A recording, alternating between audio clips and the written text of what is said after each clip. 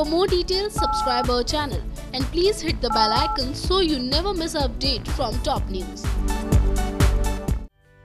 Star Plus का most popular बेहद ही ड्रामेटिक शो यह है मोहब्बतें से जुड़ी हुई तो एक और बड़ी खबर हम आप सभी के लिए लेकर आए हैं जिसे सुनकर आप भी चौंक जाएँगे पहले हमारी हेडलाइन पढ़कर तो आपने अंदाज़ा लगा ही लिया होगा कि हम बात करने जा रहे हैं अशोक और ईशिता की जी हाँ जहाँ जब से सिल की कहानी में लीप की शुरुआत हुई है, तब से अशोक दे रहा है इशिता का साथ। और यही वजह है कि इशिता भी रमन से मिल पा रही है। तो दूसरी तरफ़ भल्ला परिवार के एक एक मेंबर को अभी भी यही लगता है कि अशोक है पहले जैसा। और हर बार की तरह इस बार भी वो किसी बहुत ही बड़े मकसद से आया है। लेकिन आपको बता दें कि इस बार सच में अशोक सुधर गया है। और वो चाह कर भी रमन और इशिता के साथ कुछ गलत नहीं कर सकता है। लेकिन यहाँ भी कहानी में एक बहुत ही बड़ा ट्विस्ट है। और वो ट्विस्ट ये है कि अब शायद किस्मत नहीं देना चाहती है इशिता का साथ। और नहीं होने देना चाहती है रमन और इशिता को एक। क्योंकि अब बहुत ही जल्द रमन एक बहुत ही बड़ा डिसीज़न लेने वाला है। वेलिया से एक लीडिंग वेबसाइट की माने तो रमन इशिता को अशोक से शादी करने के लिए कहेगा।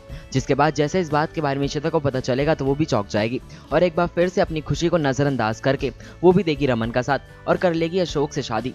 जिसके बाद अब इस सीरियल की कहानी में कौन से नया ट्विस्ट आता है, इस बात की पूरी जानकारी हम आप सभी तक पहुंचाते ही रहेंगे।